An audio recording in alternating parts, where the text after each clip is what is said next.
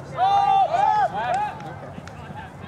Well, kind of what we are is we're a Redding area summer ultimately. Uh-huh. So we were an actual league, and um, we only have four teams.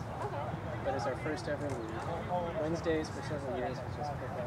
Yeah, that's what I've always been to. But, but I've it got, it's improved.